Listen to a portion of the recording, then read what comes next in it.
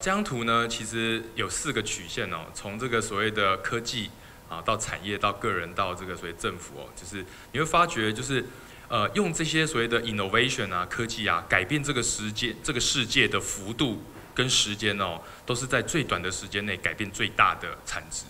那大家为什么会感觉到焦虑？因为个人会感觉到比你的组织更快的感觉到这个世界的改变，而组织在后面。可能政府 policy 是跟在最后面的，所以说，呃，这个世界呢，其实用很多科技来改变这个所谓的自己的竞争，或者是这个世界的，其实非常多，而它的改变的曲线就像这样。那我我自己本身比较擅长的呃三个领域哦，其实就是呃就是趋势创业，就比较像是啊现在流行的 big data、IOT 啊、O to O 啊等等的。那像这张图呢，其实就是从一个企业的观点，从品牌到消费者，你可以看。它经过了什么 e n a g m e share 到这个为 smart manufacturing，然后到这个物联上网，到这个 big data，中间呢，呃前几年还在谈这个什么 O to O，O 加 O，到现在已经到 AI 到 blockchain，所以其实你会发觉说，只要你的公司每应用到一个趋势科技，对于你公司的成长就是倍数起跳。那这也是为什么呃大家很迷于这个所谓的新创，跟其实基本上我觉得新创应该把它倒过来叫创新好了，可能会比较精准一点哦。那我自己本身呢，其实上一次创业就是把公司卖给了远传。那我去年离开，花了一年的时间筹备我这样的新公司。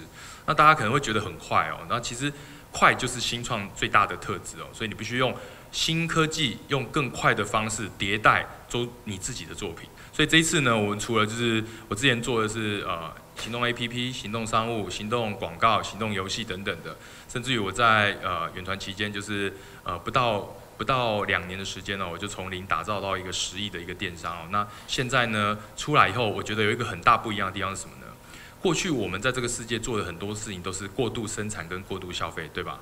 好，比如说我我我离开了我自己创的公司以后，感觉好像也没什么影响，对不对？可是我在想说，我们能不能做一些事情是让世界变得更美好？好，那这是今天像我做的这家咖啡机啊，你知道，你们想要喝到世界冠军的咖啡，再也不用全世界到处飞。那回过头来，一个世界冠军呢，再也不要到处 roll show，就能够把他咖啡卖到全世界。像这是不是因为我们的存在，让世界变得更美好？好，那再来呢，我是非常善用这个所谓的商业模式跟 new talent 哦。我们常讲，一个伟大的公司背后一定有一个伟大的产品，在这个伟大的产品背后，一定要有个伟大的组织设计跟文化。所以从这个所谓的微软啊，到这个 Google 啊，可能是雅虎先嘛，然后到 Google，到 Facebook，到现在可能是。WeChat 对不对？他们的公司不只是有一个好产品，更重要的是 support 这个产品营运机制的是背后整个 methodology，所以这个组织会变得很不一样。那过去呢，我可能改变了一个叫做用组织结构的方式来 enhance 公司的成长。例如，我们的 marketing 不叫 marketing，叫做 social community；我们的 PM 不叫 PM，我们叫做 curator。那我们整个驱动公司成长的其实是 data，是一个科技公，是一个科技。所以平均一个两百人的电商团队里面，我们一百个都是技术背景的。所以这个是跟大家讲说，我们过去怎么样用这么快的速度去成长哦。那这跟后面的布局都很像。那本人呢，戴德公司虽然离开了，然后现在就是叫远石科技嘛。那呃已经有十年的历史哦。那我们拿过非常多的奖哦，包含二零一三年我们拿到 Facebook 全球 Hack Day 的冠军哦，打败十九个国家，用数据如何去提升 Facebook 的广告成效。那这是一个就是我们很好一个里程碑。那当然过程中也就是做了非常多的呃这样的一个事情。那我记得呢，呃我在离开我自己公司印象最深刻是什么？我们有一个电商的版位呢，是用 machine learning 的方式呢提升了广告，提升了它的成交率的这个成效。那最有趣的是这件事有没有办法讨论？没办法讨论，为什么？因为它就是机器帮我们挑的。那我也不知道为什么它挑的就比我们好，还是一个学习的过程。透过这个所谓的那个那个 machine learning 的方式呢，它自己演算出一种挑品的逻辑，让首页上某一个区块挑品的时候呢，就比人为的挑品呢高出了三到五倍的成效。所以说，其实我们就开始想说，哎，这个路是越来越对了。那呃，我这一次出来呢，我就想说。我爱喝咖啡，然后做电商呢，现在全部都是价格战，然后动不动就是两百万样商品，营业额就是两百亿。我觉得这这个世界步伐快到让人家受不了，所以呃，我就做了一个新品牌叫那个 iDrip。那你知道 i 什么东西？就是用科技来颠覆传统产业，所以我这次想要颠覆的是手冲咖啡哦。那这个品牌其实你会发觉，我们就不像一般的科技公司，我们做的比较高质感一点，比较有一点品牌的感觉。所以这里面的 i 像不像有很多个？innovation 在里面。Cloud、AI、IOT。这 I 是不是又很像很多个咖啡师在这里面形成一棵大树，一棵生态圈？那很多人都说我成立公司的时候很喜欢用 I 这个字哦，因为我上一家公司叫 H I I I R，啊，就是一群人在这里发生美好的事物，所以我又好像真的蛮像 I 的。那那个我用一段影片呢，先跟大家介绍一下他在他能做什么。用 I 这个字哦，因为我上用 I 这个字哦，因为我上一家公司叫 H I I，上一家公司叫 H I I I R，啊，就是一群啊，就是一群人在这里。发生美好，人在这里发生美好的事。物，对我又事物，对我又好像真的蛮像 I 的，好像真的蛮像 I 的。那那个我用那那个我用一段影片呢，先跟大家介绍。一段影片呢，先跟大家介绍一下。他在介绍一下他在他能做什么，他能做什么？用 I 这个字哦，因为我上用 I 这个字哦，因为我上一家公司叫 H I I，上一家公司叫 H I I I R，啊，就是一群 I R，啊，就是一群人在这里发生美好，人在这里发生美好的事物。对我又是，对我又好像真的蛮像 I 的，好像真的蛮像 I 的。那那个我用那那个我用一段影片呢，先跟大家介绍一段影片呢，先跟大家介绍一下他在介绍一下他在他能做什么，他能做什么？用 I 这个字哦，因为我上用 I 这个字哦，因为我上一家公司叫 H I I，上一家公司叫 H I I I R，啊，就是一群啊，就是一群人在这里发生美好，人在这里发生美好的事物。对我又事物，对我又。好像真的蛮像 I 的，好像真的蛮像 I 的。那那个我用那那个我用一段影片呢，先跟大家介绍一段影片呢，先跟大家介绍一下他在介绍一下他在他能做什么。我们可以用相同的水温、水速、水流以及路径的冲泡手法，来还原一杯世界冠军咖啡。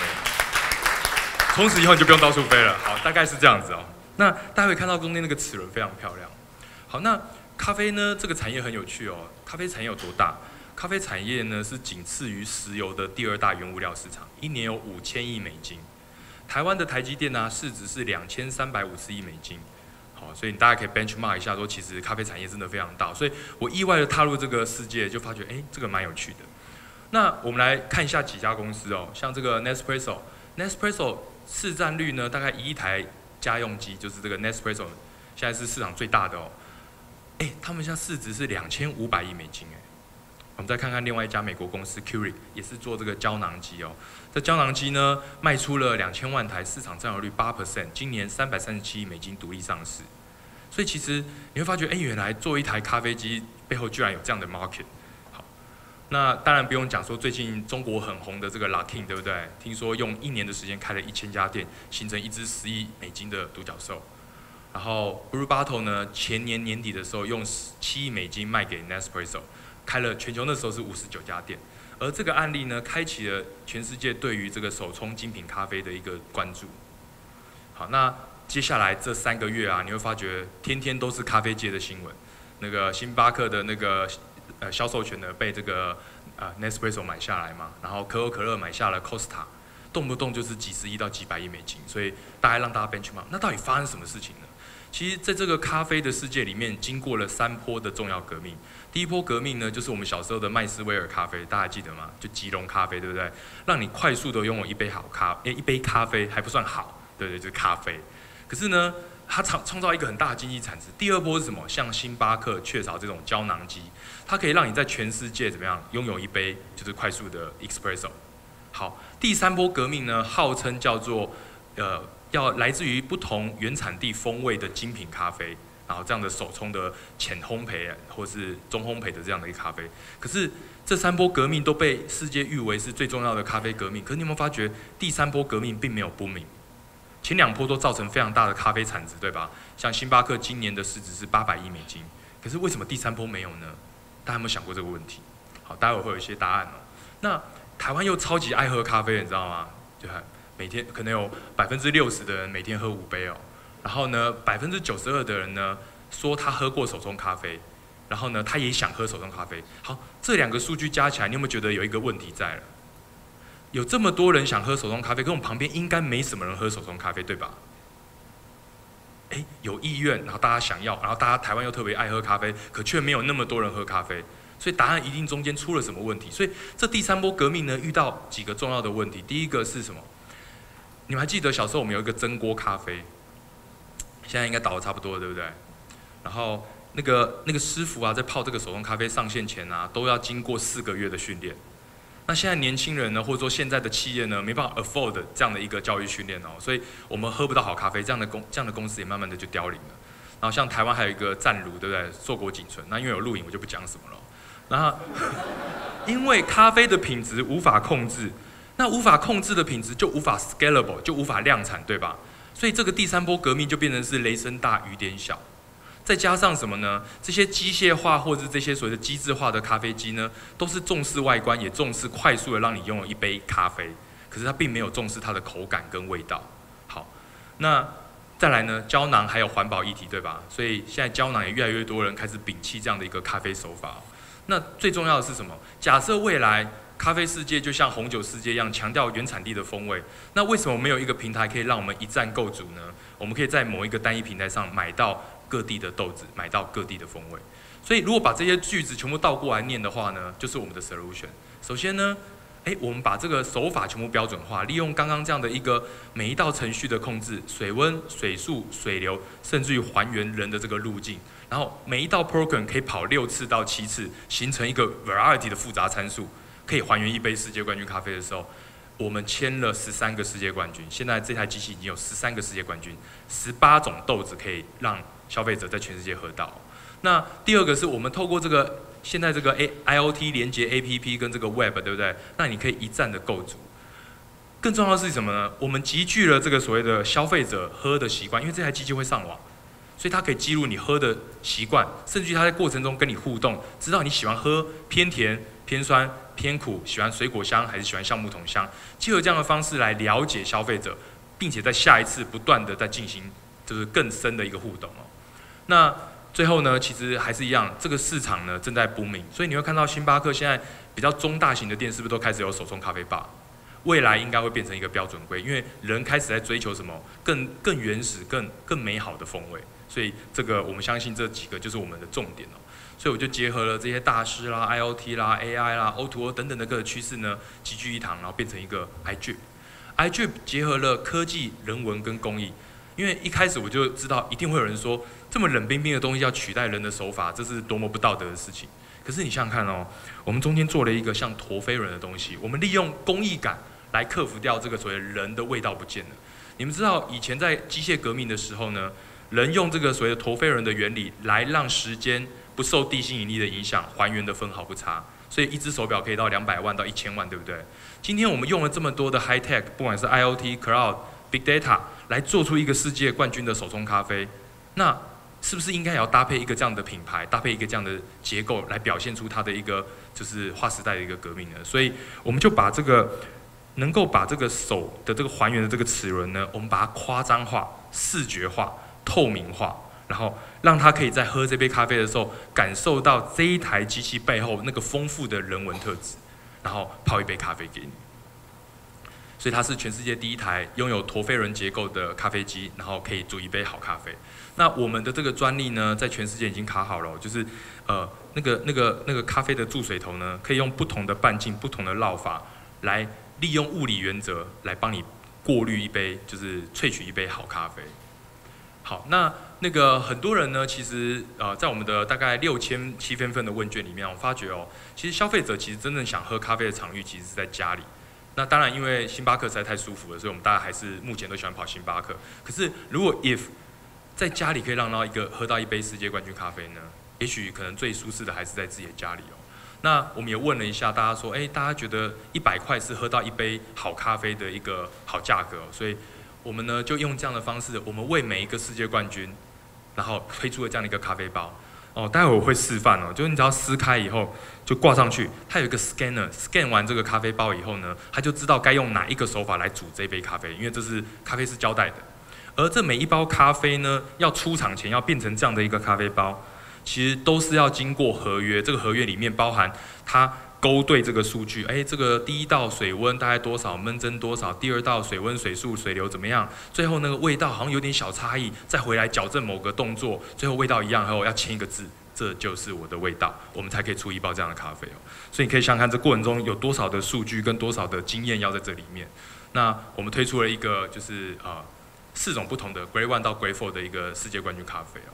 好，那我们呢签了十三个世界冠军，这里面包含了什么？我们今年一月签下了一个叫 a n i s k i 他是呃。二零一八年的世界冠军，我们一月份签的时候呢，三个月前他拿到了这个世界冠军，所以其实我们对于这个咖啡的品味，其实是还是有一个很好的独到之处哦。那日本的那个博古泽啊，台湾的吴泽林、陈天乐，然后还有马汀。好，那我们在喝这杯咖啡的同时呢，它会跳出一个 message 到你的手机上，告诉你正在喝的这杯咖啡是什么原产地、什么故事、什么风味，并且进行互动，这样我才能够收集数据嘛，对不对？那我们来这周回顾一下哦，现在有没有任何一台咖啡机是了解它的用户的？没有，这就是数据的时代。而有了这个数据之后呢，你才能够去做很多的 data 的 marketing。那我们的 app 呢，你会看到说，你可以有一个很精致的界面，可以去挑，不管是咖啡师或从原产地或从风味来挑选。更重要的是，这些东西叫做模组化的分类方式。可是当加上了 data，加上了 AI 以后呢，我们可以做很多别人做不到的事情。那简而言之呢，这台机器其实我们在做的其实不是一个咖啡机，我们在做的是一个 IOT 的生态圈平台。我们希望透过这台机器来做一台线上家用机，打开一个全世界的一个智能咖啡的手冲家用市场，再利用这些所谓的咖啡机的通路呢，能够打开一个咖啡界的 Amazon。你可以想想看，未来你都可以在我平台上面买到全世界各地的豆子，而且你不需要会自己煮，你也不需要自己会做这些手法。你就透过我们的机器，直接就可以帮你还原。你知道现在的咖啡师对对？煮法越来越变态哦。他们强调那个水要越来越细，时间要越来越慢，所以泡一杯咖啡最久可以泡到三分半到五分钟。那你可以想想，你手要定格哦，然后水流还要控制住。请问一下，你一天可以泡几杯？所以其实很多世界冠军啊，在在我们的推荐影片就讲说，那个我会犯错，他不会犯错。而且我实在没有时间好好的每天都这样煮咖啡，他可以，好，这是不是一个很棒的价值呢？那我们又结合这些世界冠军大师哦，来把他的手法变成 enhance 你一个口味的一个核心优势。所以你可以想想，就是说咖啡豆加了咖啡手法，是不是可以让一杯咖啡呈现一个最好的体验呢？不然怎么会有所谓的首冲冠军？所以我想这是很答案是很 positive 的。那我们透过这个方式再来经营，不管是线下或线下的所谓的通路，那。好吧，上一页的世界冠军的证言被洗掉了，那我们来听下一个。这个人是谁？这个录影不能帮我翻译哦，尤其不能帮我翻成日文哦。你有没有觉得他很像纳豆？他喝完这个咖啡呢，就推荐我们，所以你可以想来说，像这种日本前五大的企业家啊，其实是用钱没办法买通的，所以我觉得我们的咖啡真的很好喝，待会其实会让大家试喝哦。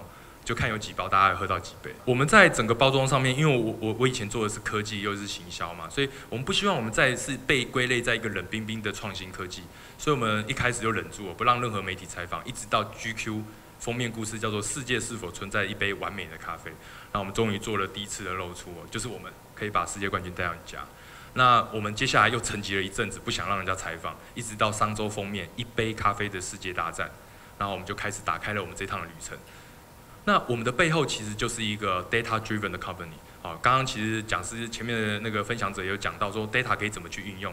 实际上呢，当你已经不想要喝苦的，我还一直推荐什么这个咖啡很好喝，你一定要喝，你会不会觉得其实这个很讨人厌的 sales，对不对？可当我已经知道你喜欢的是偏水蜜桃香，然后最好有点奶味，然后呢那个尾劲呢希望偏甜，然后苦少一点。当我都已经知道你偏好这样的口味的时候，我是不是应该多推荐一下相关的做法？而这些煮法能够煮出你喜欢的味道，所以我们自己预料，我们三年收集左边用户的数据，右边大师的数据，我们三年应该可以自己做出一个自己研发的一个口味的世界冠军哦。那这是我们的一个通路，我们希望期待自己成为什么？成为咖啡界的 Apple。Apple 为什么手机这么厉害？因为不是它的硬体而已哦，是它的软体，对吧？然后后来有一家公司也做起来，叫 Android 嘛，就 Google Android。所以这里面未来我们希望全世界所有的咖啡师的手法，跟他所烘出来的豆子，都可以借我的平台卖给你们，然后可以让大家品尝到一杯好咖啡哦。那所以说这是我们的一个愿景。那呃四四十五天前，我们办了一场发表会。然后我们也没有刻意宣传，我们就是告诉大家说，我们办了一场发表会，然后现场来了一千两百人。我们来看一下现场的状况。这是在松烟一号场。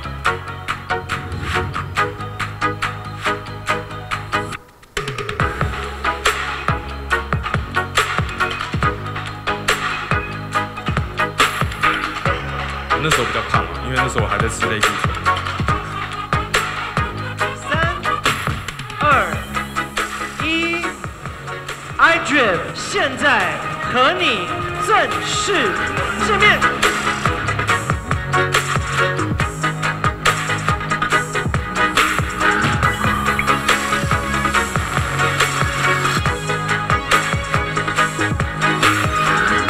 那我们也分享完产品是一个品牌的 lifestyle，然后也希望借由这个随着科技 data 跟 AI 的 enhance，然后让我们能够征服世界哦。好，那这就是我们的咖啡机。那现在我们就就来演示一下，来作为一个 ending。首先呢，消费者再也不用这么忙忙碌碌的准备各种器材哦。你看我现在手很忙，我都还可以这样做。我只要撕开以后呢，就有一个咖啡包。这个咖啡包呢，哇，好香哦！对我知道你们闻不到，你们只能用听的。这样撕开以后呢，其实你只要把它撑开。好，虽然我很想证明我单手可以完成。大家看到，就是我只要把这个咖啡包撑开，有没有发觉它是个锥形的？所以其实就跟那个手冲一样，对不对？不是外面那种四方形的哦，哦，这个要记。好，再来，你看到这个地方有个沟槽，你只要把这个咖啡借由这个沟槽放在这边，你也必须要很精准，按一下，这样就好了。后面的条码机读完以后呢，它已经知道了，所以它现在会从八十度加温加到九十四度。为什么？因为这个世界冠军呢的第一道闷蒸是从九十四度开始，接下来每一道的温度。水速、水流都会不一样。那你会发觉这个地方最，我个人最喜欢的就是这个飞轮的这个旋转的时候，给带给你的独特体验。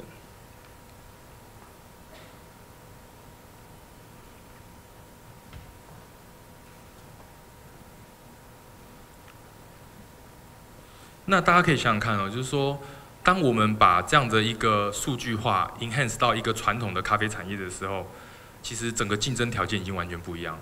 而且更重要的是呢，我们能让一个世界上最好的东西 deliver 到全世界，而且我们可以让全世界最好的东西也能够让大家喝到。那我还记得哦，就是呃，二零一三年，呃，有一个台湾科技界的大佬讲了一句话：你们年轻人不要再去卖咖啡喽，赶快来做电子业，这样台湾才有竞争力。这时候我觉得很开心哦，我们利用科技结合传统产业，让台湾每一个咖啡师都能够走向全世界。好，我知道你们看得很干过瘾，对不对？所以刚好剩一分钟，这杯应该可以在一分钟内煮完。煮完以后我就自己喝掉了吗？其实待会我们会放在旁边，放到今天活动结束，然后让大家可以去品尝。那当然也是呼吁各位哦，就是哎，怎么变兜售大会？是不是？就是如果有机会的话，支持台湾的新创，而且支持这个伟大的梦想。我们的目标呢，希望五年到六年做到市值三百亿美金，成为一个台湾科技独角兽一个领头羊。那在这边谢谢大家，谢谢。